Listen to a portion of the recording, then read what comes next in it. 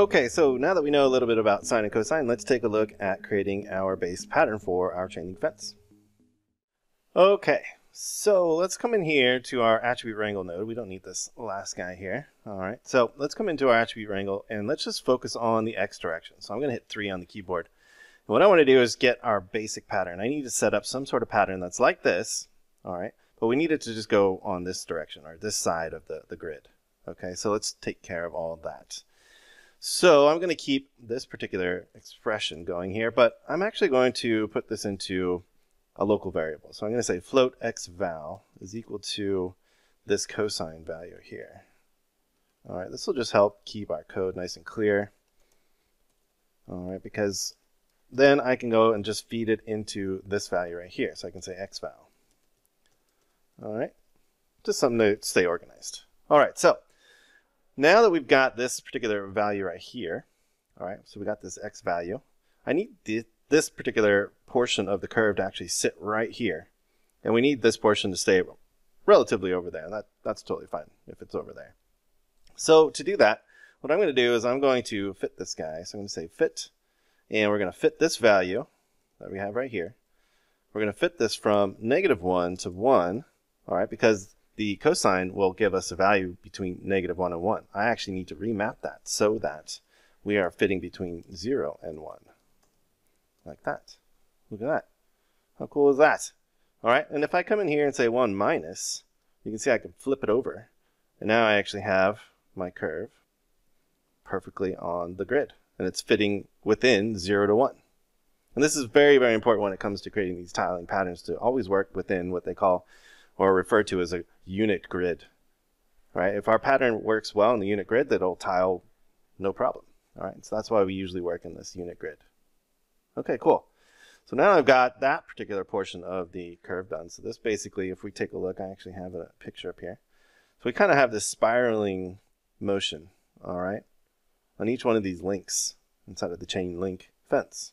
All right, and they basically alternate between each other. So that's basically what we need to accomplish here with our particular pattern. All right, so what I need to do, if you also notice in the chain link pattern, we kind of weave in and out of every other link in the fence. All right, so we need to get that weaving pattern. We already have the appropriate pattern for the diamond, if you will.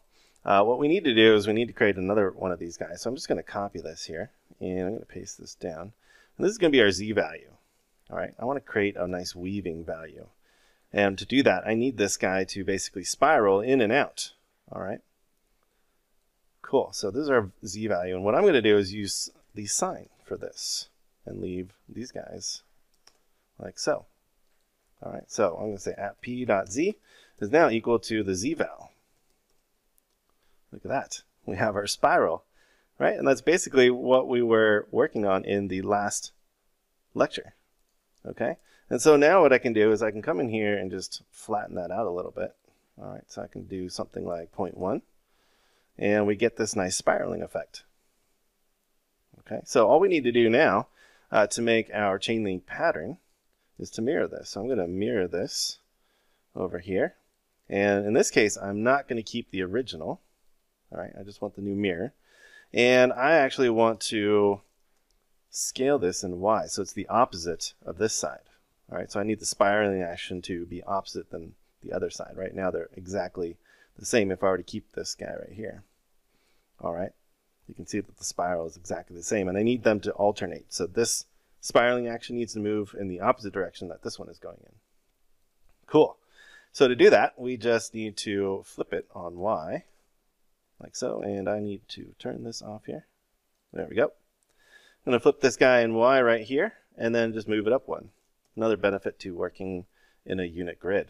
Everything basically is just a value of one. We're just moving this pattern around by a unit of one. And then let's merge those two guys back together like so. And we basically have the start of our chain link fence. Okay, but what we need to do is we need to come in here and play around with some of these offsets. All right, so I need to come up here and let's create an offset value up here. So I'm going to call this float offset. And this is going to be equal to CHF offset. So I'm going to create a float channel.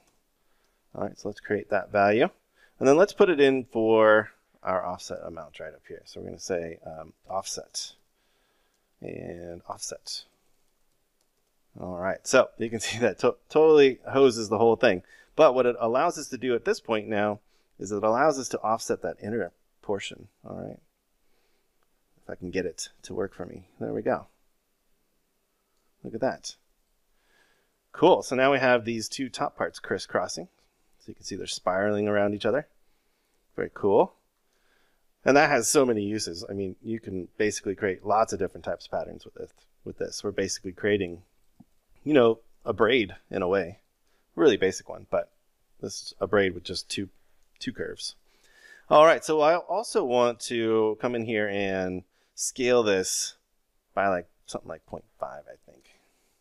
All right, we'll make this feel a little bit more realistic. And with that, look at that. We now have our single pattern there. So if I come in here and we flatten it out in Z a little bit more, we have a perfectly valid chain link component. All right, it's kind of the base pattern, if you will. All right, we'll come in here to that image again.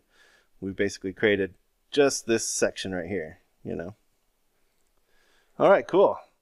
So with that, we're pretty much good to go. If I were to drop down a copy to transform node now, all right, we copied this over.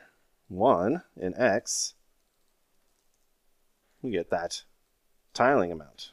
All right, but what we need to do is we need to actually take into account uh, this guy right here.